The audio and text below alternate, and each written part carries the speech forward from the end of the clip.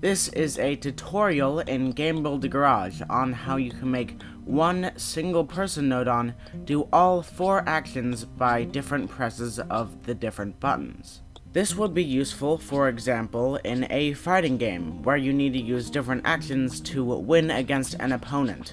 So, to have those different actions, you will definitely need all four of the different animations that you can do with a person Nodon. But then again, that is only one use. If you want different things that the player can do in your game, then you may want to use these animations for those functions, so this is really a Swiss army knife of a tutorial. The four actions that a person can do are celebrate, punch, kick, and spin. So if any of those seem useful, or you just want to add some more variety, then stick around for this tutorial. So this is our person Nodon, and you can see that the action up here in the corner is set to celebrate. So the first one is really, really easy, so pick the button that you want for the action that is already set up in the player Nodon. And again, this one is really, really easy, so follow my steps. For the first action, simply connect the button press Nodon to the player Nodon port uh, well, the action port and the player Nodon. So now go to the input. This is where things are going to get a bit more complex. So select a different buttons. The, so the first one for me was A, now the next one is B.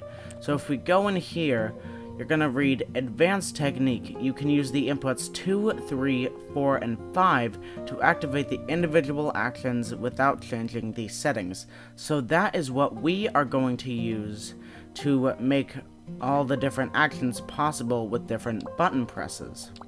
So let's just go ahead and so what the first thing you may think that you need to do, this is not correct, so do not follow me on this, but where what most people are going to mess up is that they're going to think that they have to attach this to a cal to an adding calculator thing uh, and add a constant Nodon.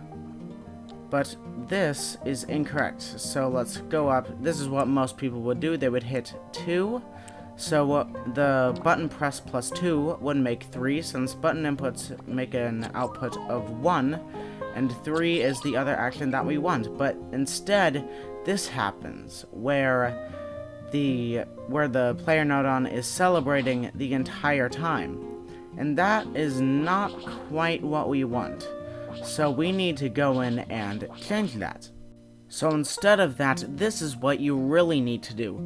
The problem that you are having if you do that is that the constant Nodon is constantly giving that output, and that is not what they want.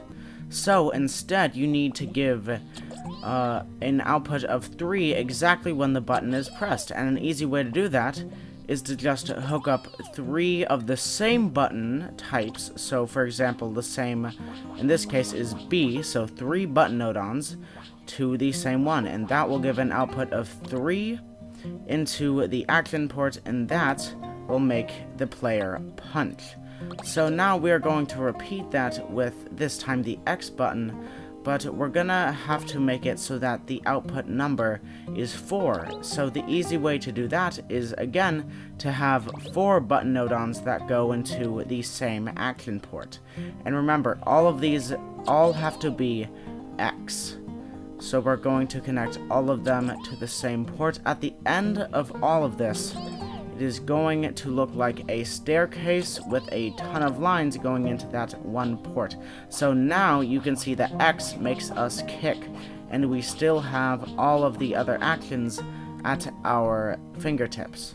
So the last one you can probably guess, we are going to make five X button nodons, and they are all going to connect into that one same port, and that will make them that will make the player spin. So we can see that we are forming that staircase shape once again. And now we just have to hook them all up. So that's one. This is going to be two. This is three. This is 4, and this is the last one, it's 5. So this is a very, very simple way to make all of the different actions available with all four of the different buttons. So I hope that this was helpful because we can still do all of the different actions as you can see right now. So that's kick, and that's spin. So yeah, this is useful for a lot of different things, and I hope this tutorial was helpful.